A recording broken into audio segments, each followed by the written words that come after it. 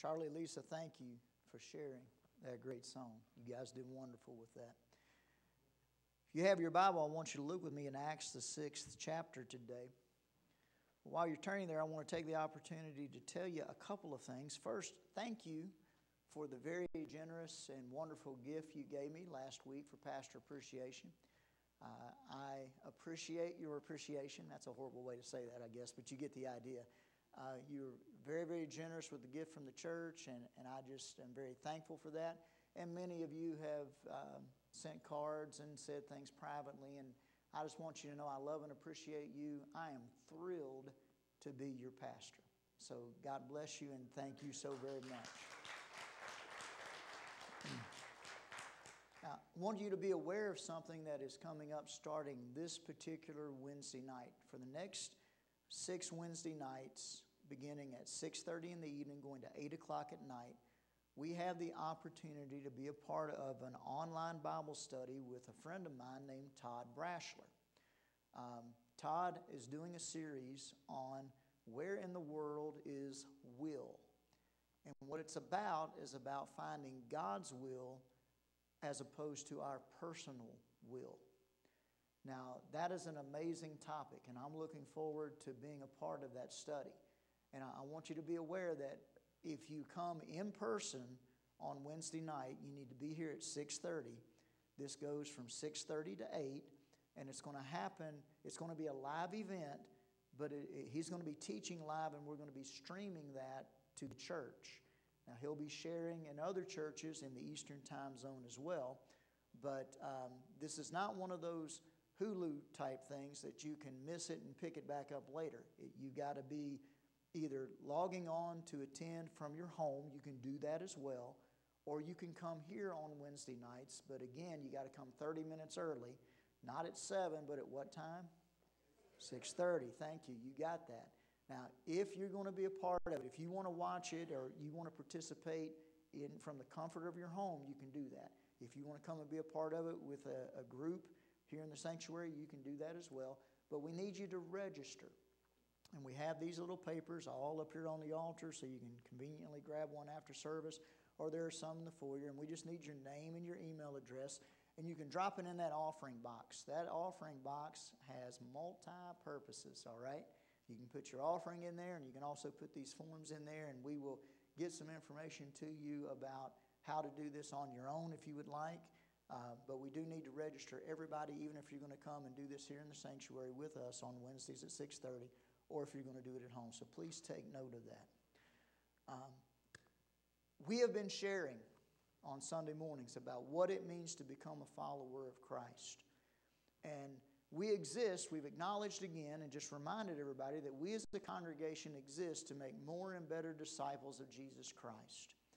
My friends, it doesn't matter what we gain in this world if at the end of our lives we haven't followed Him and we don't know Him, we're going to spend eternity in a place called hell. Now, we exist as a church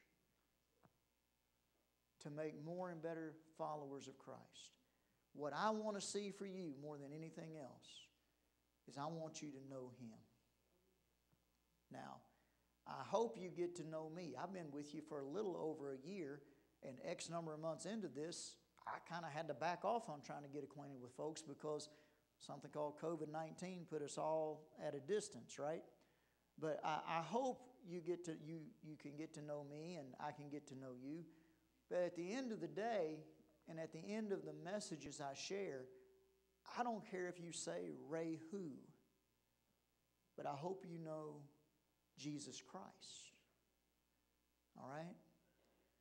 Disciples of Jesus Christ, becoming a disciple begins with finding Him. You've got to enter into a relationship with Him. You've got to reach a point where you say, you know what? Jesus Christ is the Savior of the world, and I'm lost in sin, and He's the only one who can save me. I've got to find Him. Now, He's not lost, I am, but I've still got to find Him. If we seek Him with our whole hearts, we will find Him, the Bible tells us. But not only do we need to find Him, we need to know Him. It's not enough to just know about Jesus. Jesus wants us to know Him. So, becoming a follower of Christ begins with finding Him, it continues with knowing Him. But as we get to know Him, there's, there's another aspect to following Him, and we want to talk about that today. That has to do with serving Him. Now, I don't know about you, but when I go out to eat, I love good service. Now, I love good food as well, but I kind of want the service to be good too. And I've been to some fine dining restaurants. Uh, just for the record, I'm not real keen on going to those kind of places. I'm not against them, it's just they're not really my cup of tea. I've been to some and I've enjoyed the food, and I've really enjoyed the service at those finer dining places. You know what I mean? The servers there, boy, they know what they're doing, right? Boy, I've been to one years ago and sat down at a setting much like this one right here. Ah, it had more silverware than I knew what to do with, just like this one. And boy, I thought, man, I'm going to get a bunch of food here. All these forks and spoons and knives and cups and plates and all. If I'm going to go eat, I got an Americanized appetite. You know what I mean?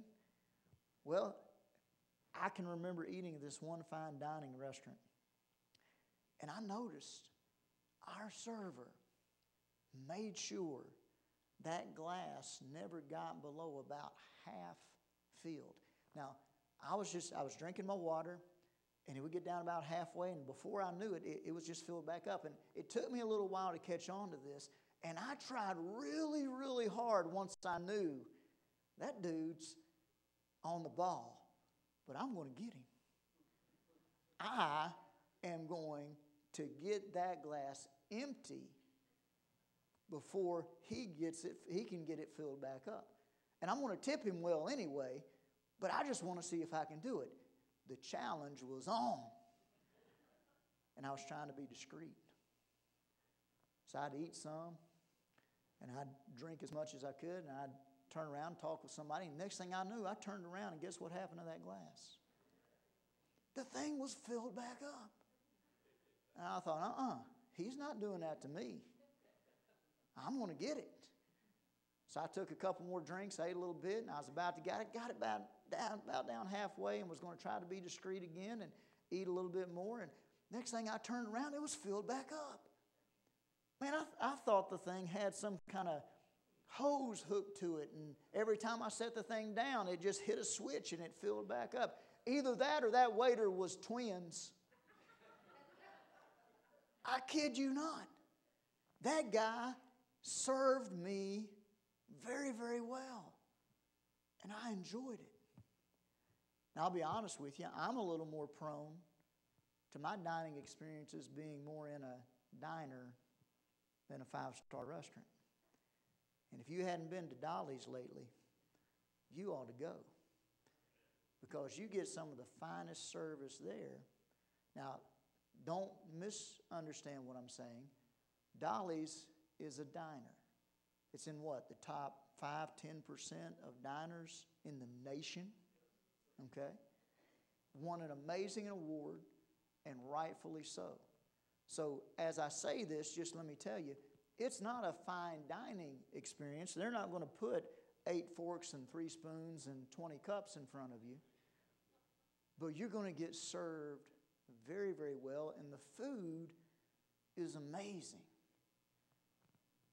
How many of you like being served well? Amen? We enjoy that. We like to know, especially if we're going to a sit down restaurant, that our order's going to be taken, they're going to get it right, the food's going to be good.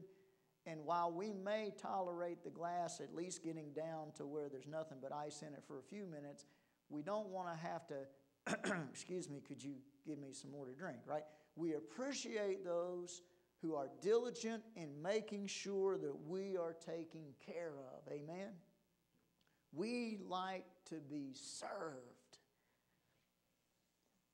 But Jesus taught a lot about serving. And in Matthew, the 20th chapter, you don't have to turn there. We're going to be looking in Acts chapter 6 in just a moment. But in Matthew chapter 20, his closest followers had a issue that come up. Matter of fact, if you read in Matthew chapter 20, you'll find out it actually might have been two of the disciples' mama that had an issue with what was going on. You know how you mamas can get. When you wonder if your boys or your kids, even your girls, boys or girls, I want something special for my kids. And the scripture tells us in Matthew chapter 20 uh, that uh, two of the boys, two of the disciples, had their mom come up and approach Jesus and ask a question. It was James and John's mother. And she came up to Jesus and said, Look, when you get this organization really kicked off the ground, I want my boys to be at your right hand and your left. I want them to be in supervisory positions. I want them in offices. I don't want them pushing brooms and sway, uh, using mops. I want them giving the orders. Amen? Well, Jesus looked at those boys and said, Hey, guys, to get that kind of position in my kingdom, you got to drink of the cup that I drink of. And you got to be willing to be baptized with the baptism that I'm going to be baptized with. Well, James and John were like, okay, no big deal. Drinking from a little cup, getting dunked. They didn't understand what Jesus was talking about was being baptized by fire, if you will, by sacrifice, by giving of himself. So they agreed to that. Jesus looked back at them and said, Okay, you're going to experience at least some of what I'm going to go through. But to be quite honest with you, to give the positions that your mom's asking me for is not mine to give. The Father's already set that in order. Well, they didn't get exactly what they requested. And as this discourse was going on, the other 10 disciples heard what was happening. And you know what? They thought immediately, well, isn't that good of those two guys? Look at their ambition. I wish I had ambition like that. Kudos, James and John. Way to go, guys. We appreciate you. No, that's not what they did. They got ticked. They got to thinking, who do they think they are? Mama's boys. Got their mama to go up there and ask, Can we have positions on your right hand and your left hand?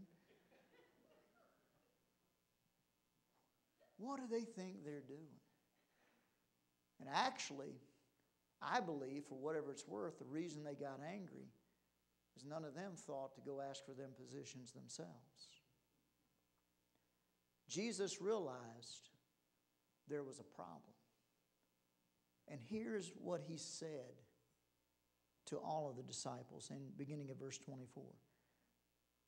When the ten heard it, they were greatly displeased with the two brothers, and Jesus called them to himself and said, You know that the rulers of the Gentiles lord it over them, and those who are great exercise authority over them, but it's not supposed to be so among you.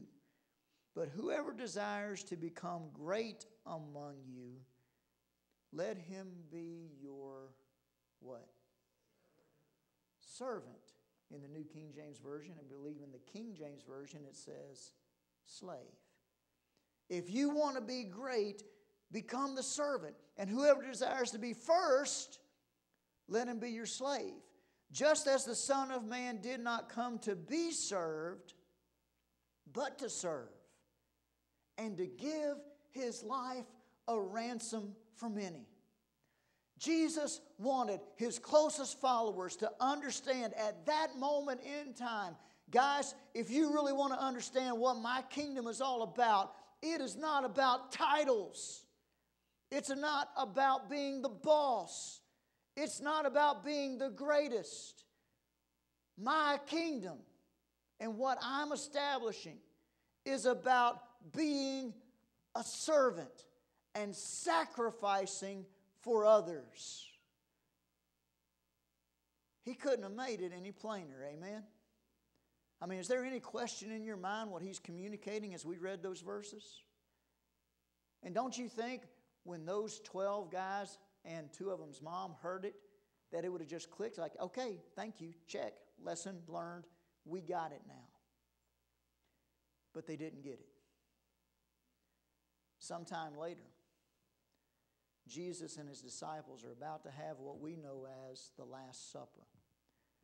And there was this private event where Jesus was there with his closest followers who had already been told in plain language don't seek to be great, seek to be a servant.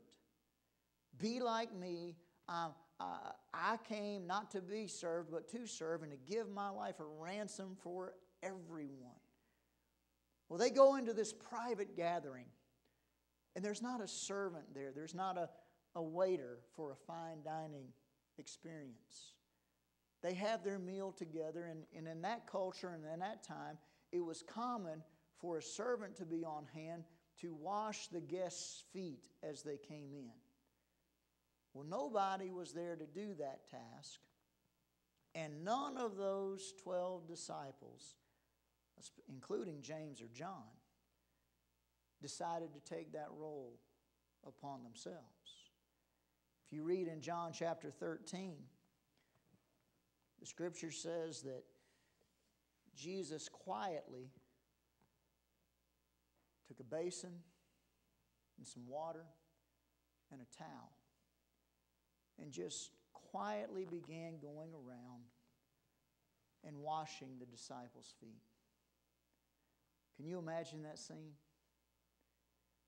They're sitting there just having a good time, probably talking again about how great things are going to be when Jesus finally gets elected and gets in office. He'll be our man, and everything will be good for us because our guy will be in charge. Well, meanwhile, Jesus is over here washing this one's feet, and then that one, and then another. Can't you imagine at that point the room got quiet? And he gets to Peter. And Peter says, uh uh-uh, uh sorry. But Lord, you're not washing my feet. Well, Jesus and Peter have this little discussion about what it means to be served and served well, and how Peter's got to let him do this, or he's not going to be in on any of this. And Peter then goes to the other extreme, just like Peter, over here, over here, you know, just on both ends of the spectrum. And Jesus then washes Peter's feet and in John chapter 13, verses 12 through 17, he says these words When he finished washing their feet and had taken his garments, he sat down again and he said, Do you realize what I have done to you? You call me teacher and Lord, and you do so, saying so well, for so I am. If I then, your Lord and teacher, have washed your feet, you ought to wash one another's feet. For I've given you an example that you should do as I have done to you.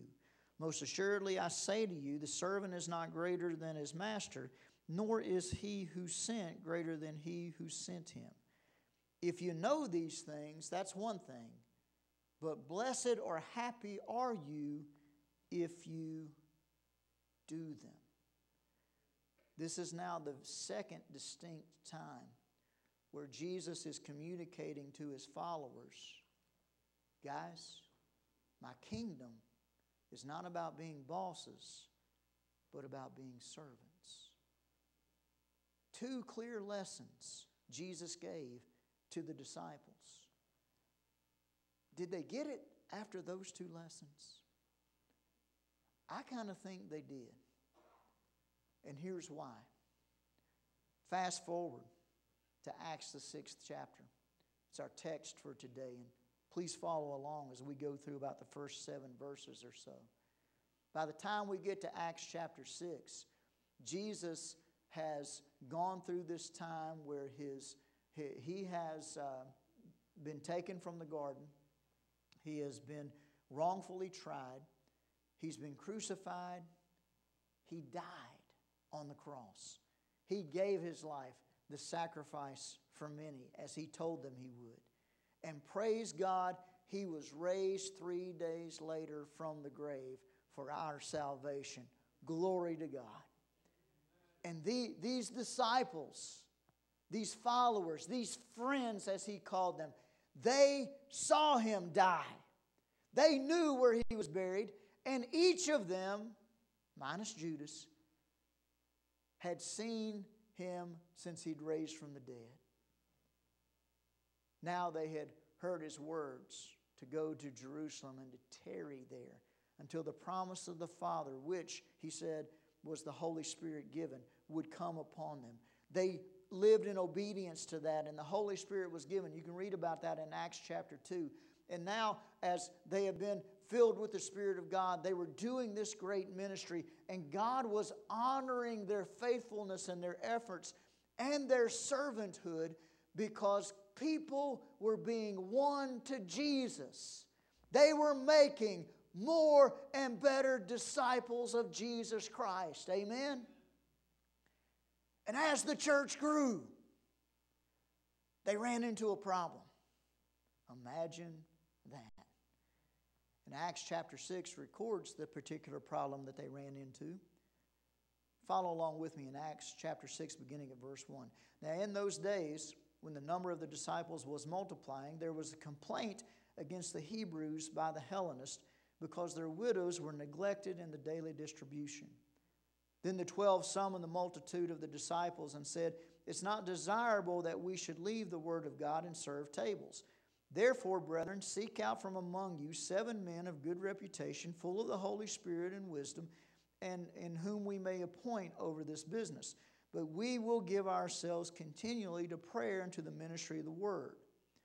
And the saying pleased the whole multitude, and they chose Stephen, a man full of faith and the Holy Spirit and Philip and Prochorus and Nicanor and Timon and Parmenas and Nicholas, a proselyte from Antioch, whom they set before the apostles, and when they had prayed, they laid hands on them. And note verse 7 especially. Then the word of God spread, and the number of the disciples multiplied greatly in Jerusalem, and a great many of the priests were obedient to the faith. Look at what happened now. After two very distinct teachings about how uh, they're to be servants. And after the Holy Spirit filled those believers' lives, I believe they got with the program. I believe they began to understand you know what? If we're going to be great in the kingdom, we got to figure out ways to serve. And we want to be obedient to what Jesus said, and we want to see his message uh, spread throughout the land and they were serving in various ways, and God was blessing their efforts. And when they came upon this problem in Acts chapter 6, they handled it with servant hearts. There are five things very quickly I want us to see that Acts chapter 6 teaches us about servanthood. The first one is this prayer and ministry of the word is service to God. Don't let anybody ever teach you or, or tell you that it's not. We know when we're taking time to get into the Bible for ourselves and we're taking time to talk with God, we're serving Him. Amen? We, we are investing time in growing our, in our personal relationship with Him, and that's important for our own well being, first and foremost. But it's also important because as we get closer to Him, as we find Him and we know Him, we can serve Him through the Word and through prayer, and then He can enable us to serve other people for His honor and glory. And this ministry of the Word and prayer, whenever you get the opportunity to do that, that's service to God. I am grateful today for people who, down through the years, have served the Lord in the local church, especially through teaching Sunday school. Man, I am the beneficiary of so many Sunday school teachers down through the years. A few of you know the name, but let me mention it. There's this little sweet lady. Uh, she was tall to me when I was in her class, but she's really only about this tall. Evelyn Dye down in, the well, in Welch. Boy, she's been teaching children Bible stories for decades. And I'm one of the ones she taught. Oh man, my parents both spent time volunteering and teaching the Word of God in Sunday school, in kids' classes. We, we went to mom's class, and then when we aged out of that, we went to dad's class. And I'm grateful for people like my parents who taught the Word of God. I'm grateful for youth volunteers. We never had uh, a full time youth pastor or even a paid youth pastor. I'm not opposed to those. I think those folks have a calling and it's important work that they do, and, and to have one for I, I don't have a problem with that at all. But, but growing up in McDowell County, we had youth workers who just volunteered their time and they poured into me when I was a knucklehead teenager. Anybody remember those days when you were a knucklehead teen? Some of you are wondering, some of those that raised their hands, did they ever get out of that knucklehead part? They're not teens anymore, but they're still, right? Look, these people poured into my life. They prayed for me. They served the Lord many times through the local church by ministering the Word of God in prayer. I'm grateful today to be a, minister of the gospel of Jesus Christ, not only by faith, but by profession, by calling. I'm thankful that I get to do what I do.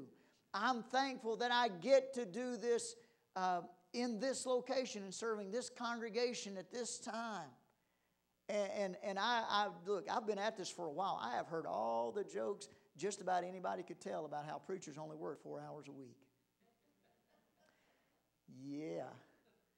And here's what's so funny about that to me. If I try to get a little bit of overtime in today and go past 11 o'clock, some of you are going to get upset.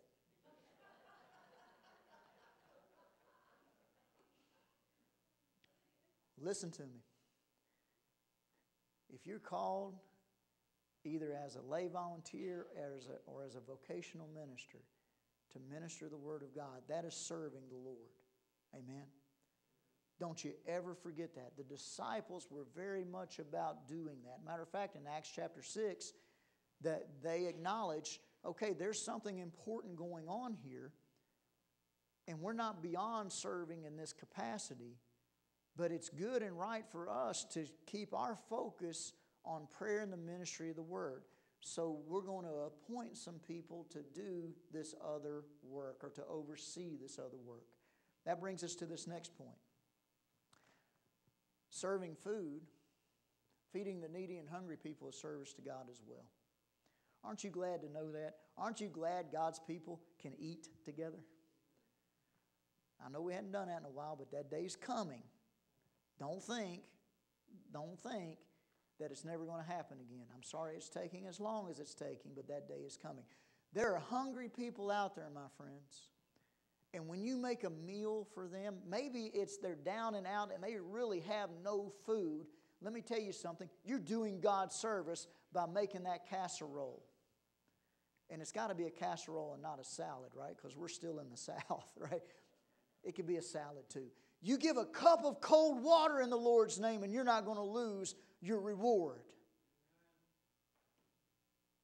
Feeding hungry people is service to God as well.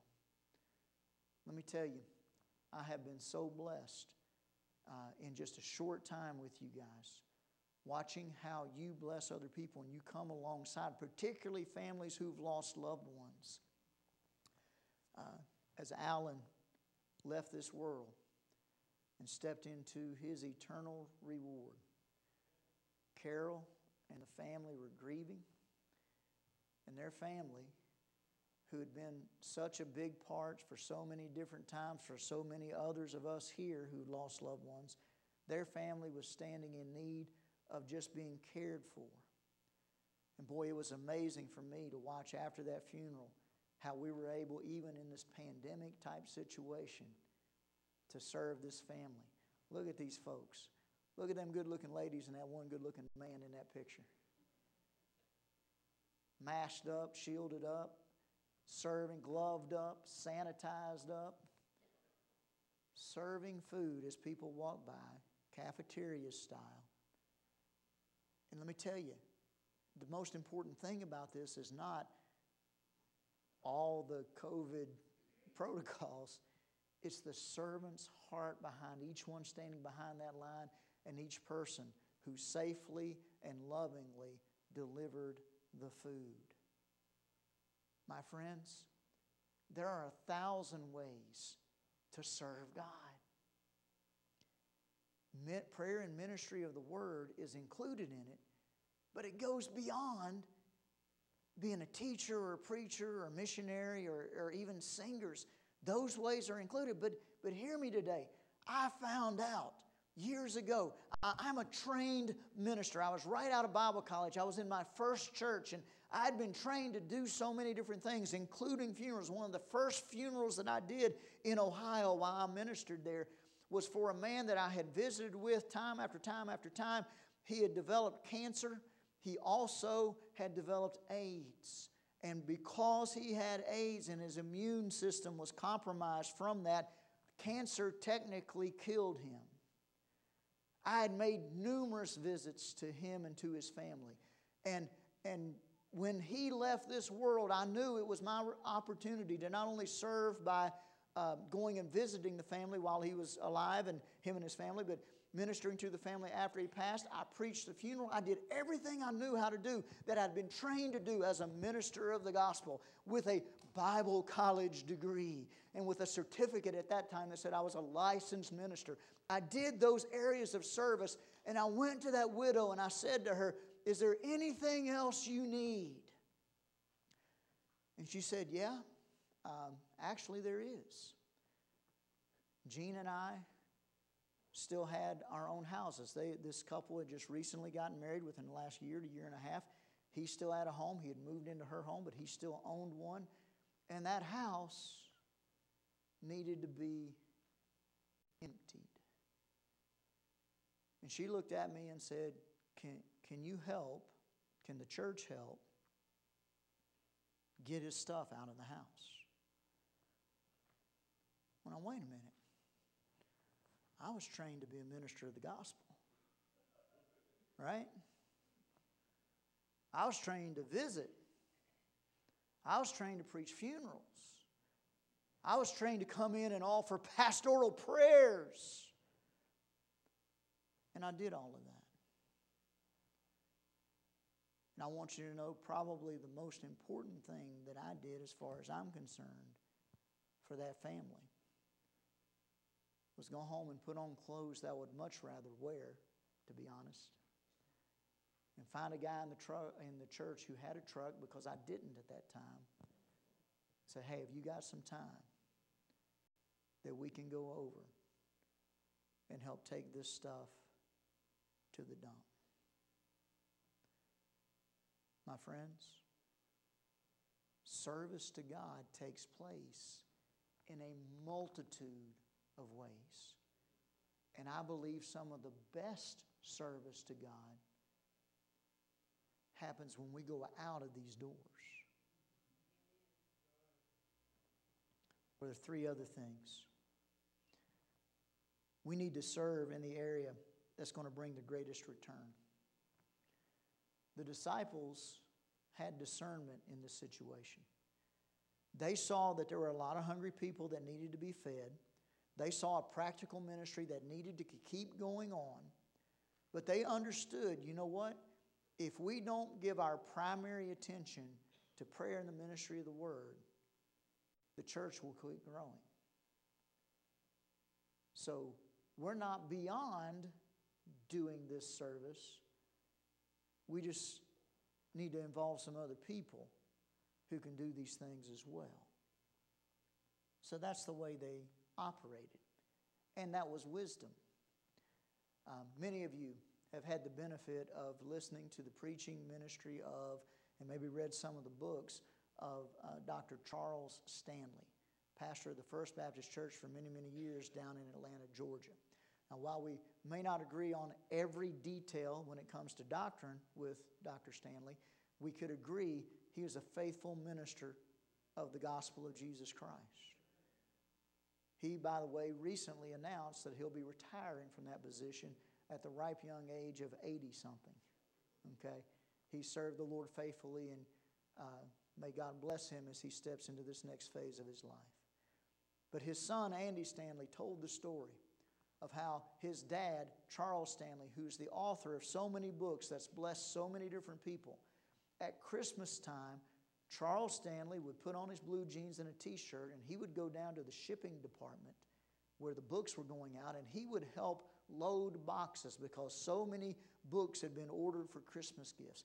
He would get in the shipping department and he would help load books so they could be shipped out for the Christmas gifts that people had bought. He did that temporarily. He wasn't beyond doing it, but he did that for a time. But he also knew he couldn't spend all of his time doing that. If he didn't go and spend some time in prayer and reading the Word, he wouldn't be able to write any more books. And the people in the shipping department would be out of a job. So that's an example of Dr. Stanley temporarily doing something in this moment, but then giving his greater effort to what he needed to be doing most. We need to serve in the areas where the, we can, the, the kingdom of God can get the greatest return. The fourth thing that I want us to see from this story is this the prerequisite for service is holiness. Or another way of saying this is this our service to God needs to spring from our relationship with Him. Do you get that? Now, if you read in the scripture, you'll find out in Acts chapter 6, verses 1 through 7, when they were picking out people to oversee the business of waiting tables, you know what they looked for first? Didn't they look for first how well they can use a towel? I mean, that'd be kind of important, arguably. They didn't look for how sharply they were dressed or not dressed sharp or whatever. They didn't look at how well they held the towel or anything like that. No, what they wanted to know first was give us some people full of the Holy Spirit and wisdom. Give us some people who know God. Give us some people who have a relationship with Him. Give us some people who want His cause to go forward. And let's appoint them over this business. Listen to me. When it comes to serving the Lord, our service to Him, whatever that is, needs to come out of our relationship with Him. You go back and you read in the Sermon on the Mount, there are these words that honestly haunt me at some point. Jesus looks and says these words Hey, there are going to be people who stand before me on that day and they're going to say to me, Lord, did we not cast out demons in your name and preach in your name and, and uh, heal people in your name? And I'm going to look back at them and I want to say, Depart from me, from me because you never served me well enough. Is that what Jesus said? Get out of here because you just missed the mark uh, on how you, you did this ministry or that ministry. No, at that point, Jesus says, I'm going to look at those and them and say, Depart from me because I didn't know you. I want you to understand. I want us to get clearly. Serving God is very important, it is extremely important. But serving Him comes as a result of us knowing Him. And it's an overflow of our relationship with Him. And because we know Him, we serve Him. The last thing from this story that I want us to get is this every servant has a responsibility to be a witness. I don't care what your task is, you're a witness for the Lord. You know this about the preachers, right?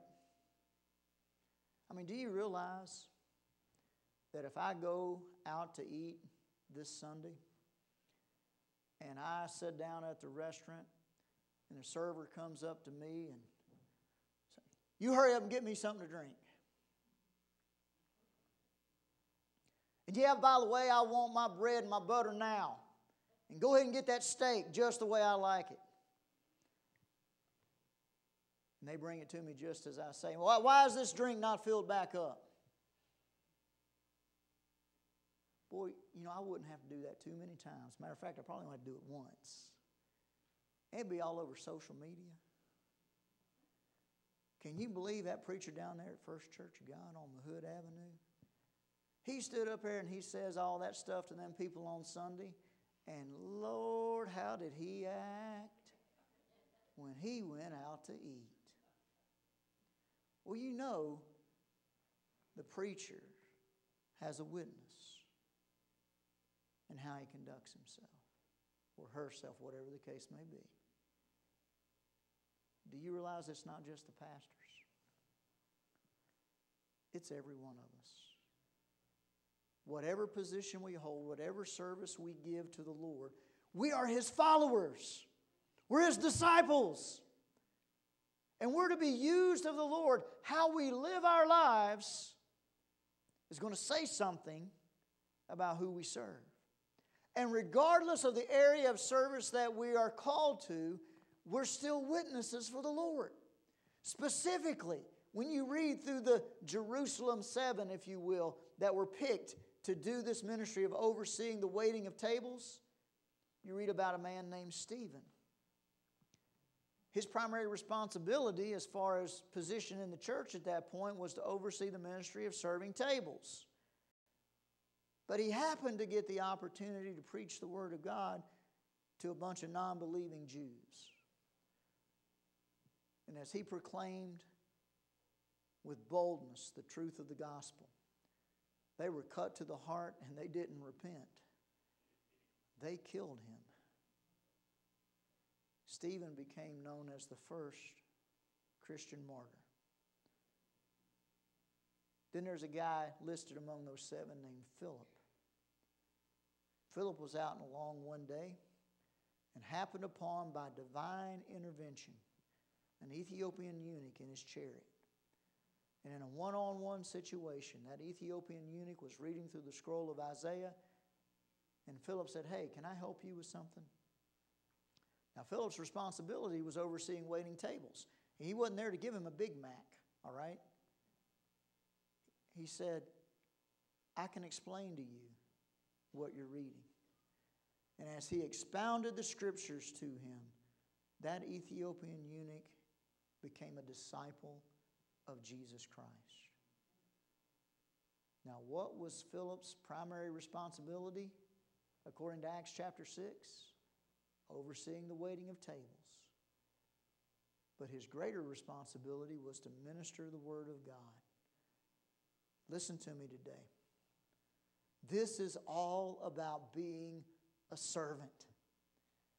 And if you are seeking in the kingdom of God positions of authority so that you can boss people around, you better get on your knees before God and do some praying. There's nothing wrong with being in charge. Don't get me wrong, somebody's got to lead. But your heart for anything you do for the Lord had better be to serve.